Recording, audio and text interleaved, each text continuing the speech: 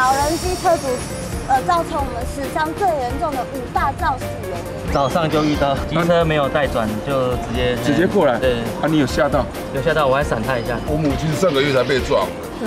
啊，头啊，髋关节是不是都断掉？哎呦！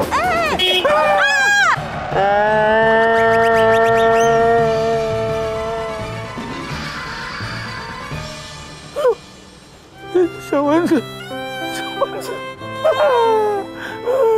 哦，小丸子放学了。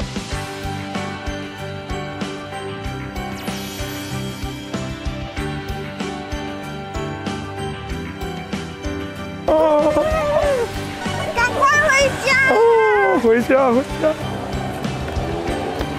坐好哦。好。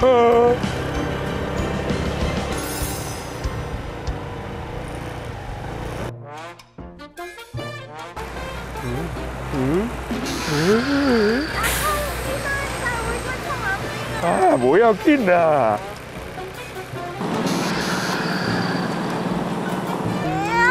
来来啦！哎，赶快动哎！啊，赶紧动哎！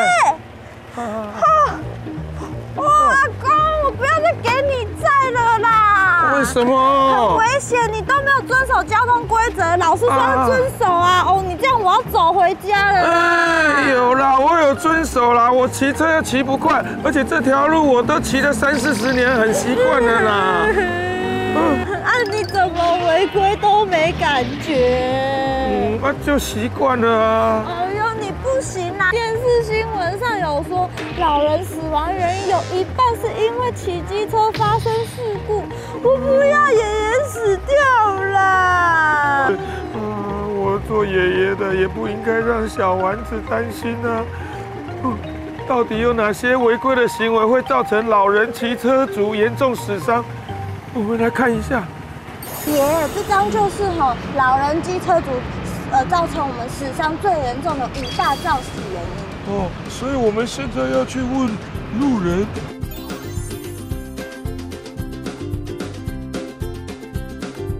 老人机车族哦，五大交通事故噪音。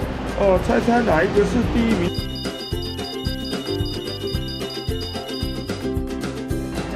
这个左转弯位移规定。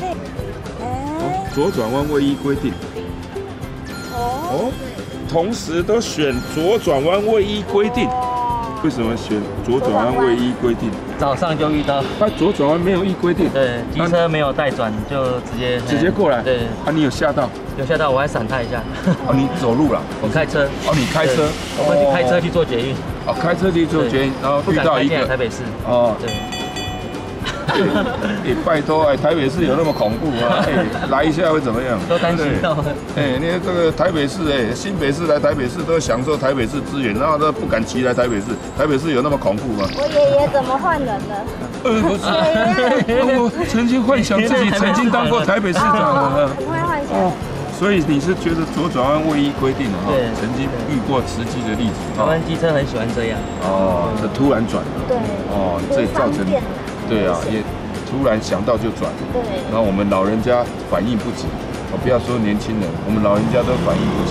你有遇过什么状况吗？就是没有两段式左转，就突然就突然就要贴过来。哦，你被撞过？哎，有，对不对？这是他遇到的案例，位于两段式左转。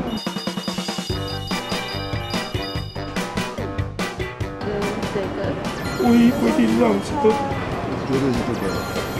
哎呦，有很多那个转弯的，或者是他们，这样说应该让直行车先行。哦。而且转弯就忽然就插进来啊，或者是跟变换车道，这样都很危险。哦。我母亲上个月才被撞。对。啊？啊？为什么呢？就就一台车子，它我妈妈是直行，然后她是忽然间右转，右转，她就撞到，然后。哦。啊，你妈妈是骑车，现在要骑电动车。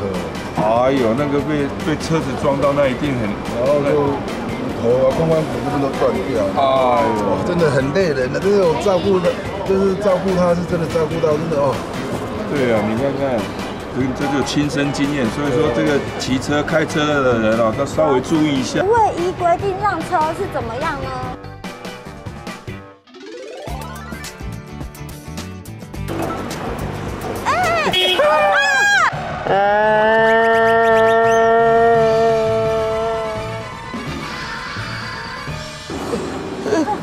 小蚊子，你们怎么样？好痛哎！呃，你怎么会摔出去啦？哦，没有，你就不能这样子。在路口处的时候啊，闪红灯会有这个让跟停的标志，那时候代表主看到有车，你就应该先让他过去。哦，你脑袋瓜没有摔坏哦，你竟然这么懂交通规则还好哦。还好。我选卫一左转啊。哦，女女生是说为保持行车安全间距，为保持行车安全间距是怎么样？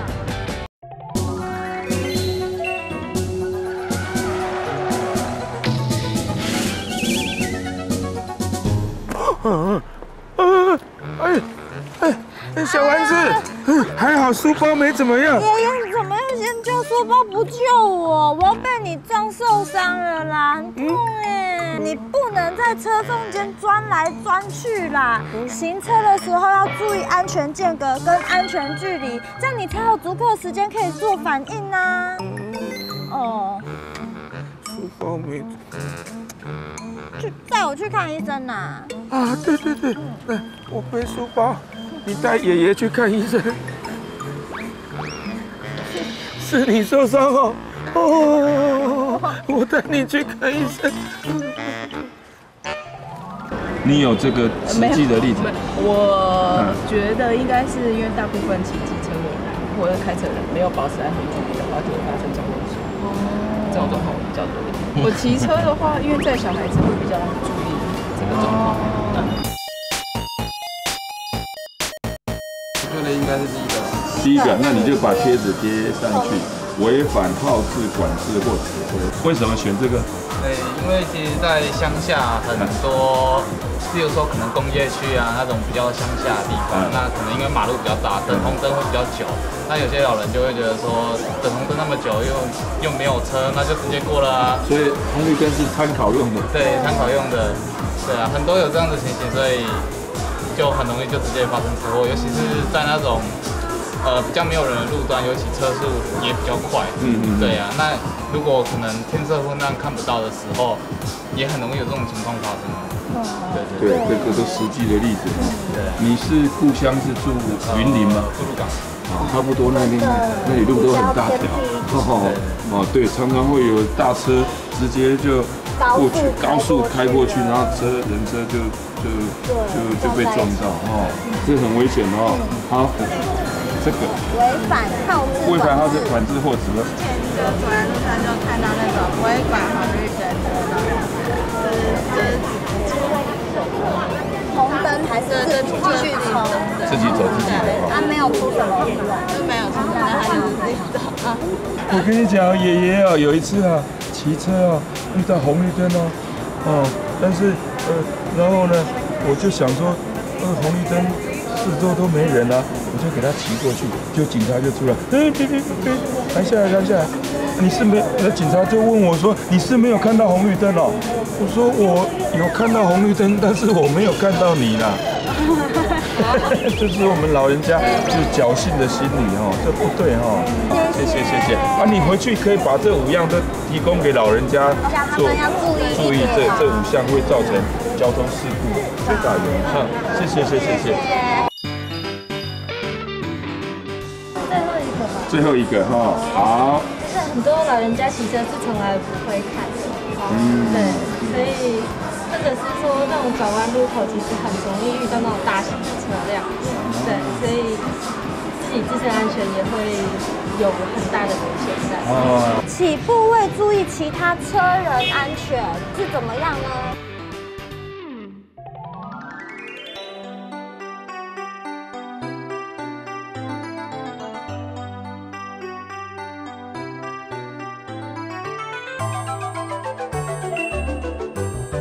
啦好啦好啦，我马上搞马上搞啦马上搞。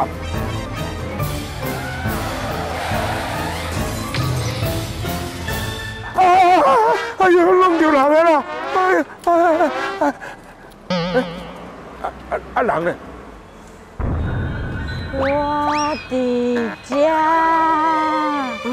驾驶应该要先注意车前状况，起步时要先打方向灯，再来看后照镜，再转头查看后方有无人车，这样才能避免事故发生啊！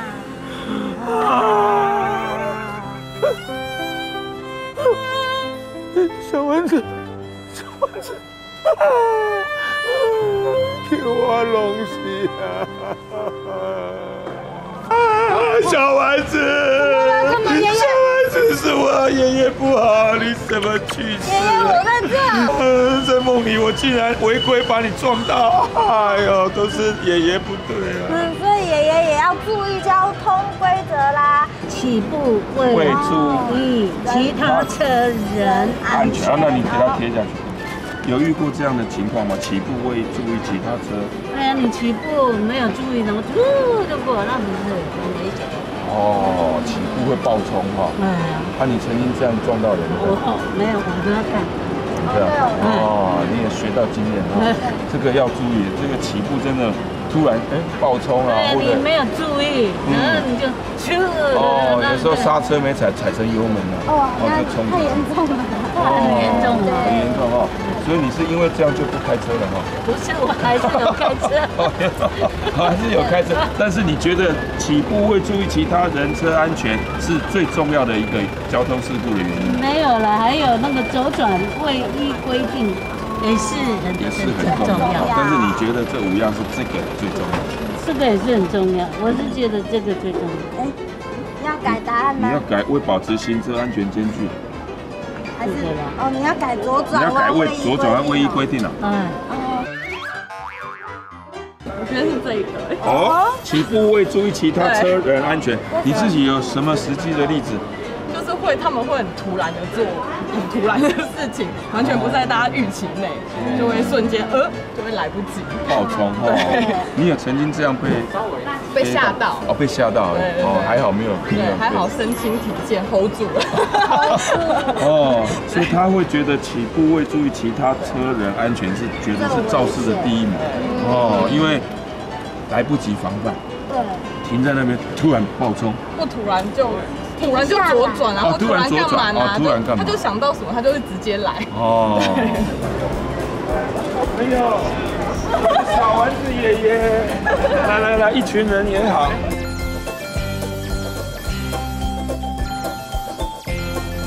你你是学违反号志管制或指挥，有遇过什么状况？就是不管指挥的交通警察的这样求。交通警察在指挥，他也不管，他就直接过去。哦，对对对，所以他们都是国家未来的主人翁，他们要准备要考大学，所以说这个人车安全要很注意哈。啊，希望你们把这些五项哦，都回去可以跟老人家讲，跟爸爸妈妈讲，说这是造成老人机车主五大交通事故很主要的原因哦，好不好？啊，祝你们这个吃东西我要好好用功读书哦。好，谢谢，祝你们金榜题名哦，谢谢。太好了，哇，我们这次的路访啊，嗯，行人都很配合，对，哦，大家都看到小丸子，都是愿意接近你。那我们现在来统计啊，刚刚路人所选的老人机车主五大交通事故噪音，哪一个是第一名？那刚刚啊，我们街访的这些民众啊，一个是左转弯位移规定。一二三四五六七有七票，那第五项起步未注意其他车人安全，一二三四五六七也是七票，这两项高居第一名哦。那第二名当然就是违反号志管制或指挥，一二三四四票。那第三名的就未依规定让车两票，为保持行车安全间距也有两票。这是路人所觉得的。肇事的原因的前几名，那我们现在要来公布，实际上，哦，那爷爷你觉得呢？哦，对，我觉得，我觉得未依规定让车，哦，嗯，因为我们常常有有事故，就是车子静止在那边，后车就追撞过来了，那就是为保持安全距离。我们现在来。来公布一下，统计于一百零四年到一百零八年近五年高龄者骑乘机车事故路口侧撞肇事原因的总和哦。我们来看看前五名，第五名是什么？第五名是六千多件呢。起步未注意其他车人安全。刚刚这个在第一名哎。哎，对啊，他们票选是第一名。七票。可是这个据统计，这个是第五名。对。有六千零九件。嗯。好，那第四名呢？来看一下，为保持行车安全间距，有八千一百八十一件。哦。那第三名是违反号志管制或指挥，是有一一万零三百七十六件。这个刚刚是在我们的第一些选项嘛，哈，也很多人选，也很多人选违反号志管制。那第二名呢？第二名是左转弯位移规定，有一万零八百三十一件。哦，就是刚刚他们讲的，就是两段是没有啊，他想到转就转，没打方向。哦，这个常常会遇到的。哦，这是第二名，高达第二名。第一名呢？第一名三万四，三万。依规定让车三万四千九百九十六，耶！爷爷答对了，开车哦，我开车到现在我已经累积九十万公里了，所以说我在路上开车，我就觉得未依规定让车，这个是造成事故。哦，经验累积，经验累积的哈，这五项其实都很重要，要回去好好的教导我们老人家，尤其像我这种年纪哦，我们已经是反应不及了，所以说一定要告诉他们这个路口造成原因的肇事原因哦，这五项都很重要哦。果身体有不适的话，可以请家人接送或搭乘大众运输工具，不要开车或骑车哦。对，很重要哦，注意交通安全，才能够避免遗憾的事情发生哦。真的不能忽视老人机车主的问题耶！大家如果看完这支影片，记得分享给家里的长辈看哦。嗯，儿孙叮咛有在听，老人上路有神助，有仗心中排拒。交通安全知识，请搜寻交通安全入口网站。啊！中间在演呢。对对对。